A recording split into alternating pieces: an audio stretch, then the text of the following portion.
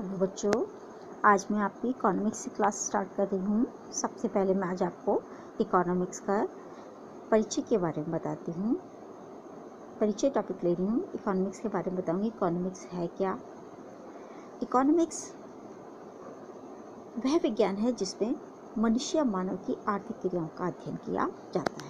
मनुष्य धन कमाता है, उसको खर्च करता है। तो जिसमें मनुष्य की आर्थिक क्रियाएँ क्रियाएँ हमारी दो प्रकार की होती हैं, आर्थिक और अनार्थिक। आर्थिक क्रिया उसे कहते हैं, जिसमें जो कार्य धन कमाने के लिए किया जाता है, वह कहलाती है हमारी आर्थिक क्रिया। और वह कार्य जो धन कमाने के लिए ना करके केवल सेवा करने के लिए किया जाता है, वह हमारी अनार्थिक क्रियाएँ कहलाती है। जैसे आर्थिक क्रिया को उदाहरण देती हूँ। कोई व्यक्ति नौकरी करता है और वेतन पाता है तो वो कहलाएगी हमारी आर्थिक क्रिया। और माता द्वारा अपने बच्चों के लिए भोजन बनाना, इनका उद्देश्य धन कमाना नहीं होता, बल्कि सेवा करना होता है, इसलिए ये कार्य अनार्थिक क्रिया कहलाएगा। अतः अर्थशास्त्र में वे सभी क्रियाएँ जो धन कमाने के लिए की जाती है, आर्थिक, अर्थात आर्थिक क्रियाओं को पूरा करने के लिए की जाती हैं, का, जिसमें का अध्ययन किया जाता है, उन सब क्रियाओं को हम आर्थिक अर्थशास्त्र कहते हैं। अर्थशास्त्र के जो जनक माने जाते हैं, वो एडम स्मिथ माने जाते हैं। अर्थशास्त्र की परिभाषाओं को मुख्यतः पाँच भागों में बांटा गया है।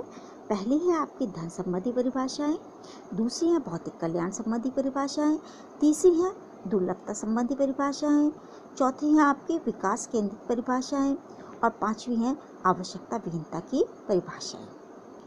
मैं आपको ये केवल अर्थशास्त्र के परिचय के बारे में बता रही हूँ, है ना?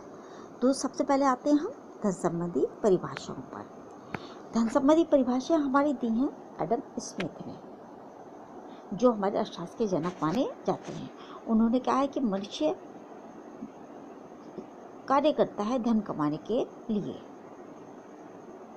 और धन से ही मनुष्य की आवश्यकताओं की पूर्ति होती है। बिना धन के वह कुछ भी नहीं कर सकता। तो इन्होंने धन के ऊपर अधिक बल दिया है। अतः धन संबंधी परिभाषा दी है हमारी, एडम स्मिथ ने। दूसरी परिभाषा दी है हमारी, भौतिक कल्याण संबंधी परिभाषाएँ। भौतिक कल्याण संबंधी परिभाषाएँ, जो हमारी दी गई हैं प्रोफेसर डॉक्टर मार्शल द्वारा। इन्होंने कहा है कि धन सब कुछ नहीं होता, बल्कि मनुष्य सब कुछ होता है। यदि मनुष्य है तो धन है। यदि मनुष्य नहीं है तो धन कुछ भी नहीं है। ठीक है? तो इन्होंने मनुष्य के कल्याण संबंधी परिभाषाएँ दी हैं। मनुष्य जो काम करता है, वो धन कमाने के लिए करता है, लेकिन अपनी आवश्यकताओं को पूरा करने के लिए। दुर्लभता संबंधी परिभाषाएँ दी हैं हमारी प्रोफेसर रॉबिस ने। अगली हमारी विकास केंद्रित परिभाषाएँ हमारी दी गई हैं सैमुअलसन प्रोफेसर सैमुअलसन ने। और हमारे भारतीय अर्थशास्त्री, जिन्होंने आवश्यकता विहीनता संबंधी परिभाषाएँ दी हैं, ये हैं हमारे जे के मेहता। इन्होंने ये भारतीय अर्थशास्त्र माने जाते हैं। अब हम सबसे पहले आते हैं। अब मैं आपको समझाती हूँ कि किस राइटर ने कौन सी पुस्तक लिखी है। एडम स्मिथ, जो हमारे अर्थशास्त्र के जनक हैं, उनके द्वारा लिखी गई पुस्तक है वेल्थ ऑफ़ नेशंस जो हमारी डॉक्टर मार्शल हैं, उनके द्वारा लिखी गई पुस्तक है प्रिंसिपल ऑफ़ इकोनॉमिक्स कौटिल्य द्वारा हमारी लिखी गई पुस्तक है अर्थशास्त्र.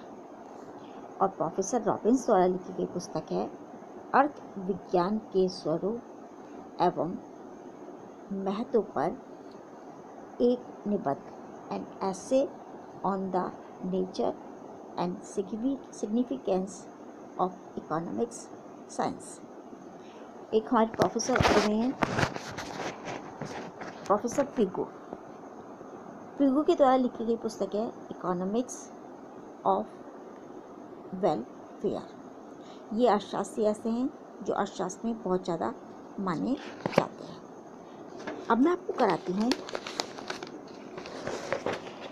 अर्थशास्त्र द्वारा एडम स्मिथ द्वारा दी गई अर्थशास्त्र की परिभाषा। अर्थशास्त्र राष्ट्रीय की संपत्ति की प्रकृति तथा उसके कारणों की खोज से संबंधित विज्ञान है, अर्थात अर्थशास्त्र धन का विज्ञान है। इन्होंने धन के ऊपर अधिक बल दिया है। कहा धन ही सब कुछ है। यानी सब काम जो किए जाते हैं, वो धन कमाने के लिए किए जाते हैं। और अर्थशास्त्र में धन संबंधी क्रियाओं का ही अध्ययन किया जाता है। तो इन्होंने अर्श, जो एडम स्मिथ है, इन्होंने कार पर बल दिया है धन पर। आगे आती हूँ मैं। मार्शल द्वारा दी गई अर्थशास्त्र की परिभाषा। प्रोफेसर मार्शल द्वारा दी गई अर्थशास्त्र की परिभाषा। अर्थशास्त्र जीवन के साधारण व्यवसाय में मनुष्य की क्रियाओं का अध्ययन है। वह यह पता लगाता है कि मनुष्य की मनुष्य मनुष्य किस प्रकार धन कमाता है, आय कमाता है और व्यय करता है। इस प्रकार यह एक और धन का विज्ञान है, धन का अध्ययन है लेकिन जो दूसरी ओर, जो इससे भी अधिक महत्वपूर्ण है, मनुष्य का, मनुष्य के अध्ययन का एक भाग है। अर्थात इन्होंने कहा है कि धन सब कुछ है, लेकिन उससे ऊपर मनुष्य है। मनुष्य है तो धन है, मनुष्य नहीं तो धन भी नहीं है। तो इन्होंने मनुष्य के ऊपर अधिक बल दिया है। तीसरी परिभाषा है प्रोफेसर रॉबिन्स की। रॉबिन्स ने कहा है कि अर्थशास्त्र वह विज्ञान है जिसमें साध्य और वैकल्पिक प्रयोग वाले सीमित साधनों से संबंधित मानव व्यवहार का अध्ययन किया जाता है। अर्थात यदि साधन सीमित हो, है ना तो उनके द्वारा मनुष्य कैसे कार्य कर सकता है?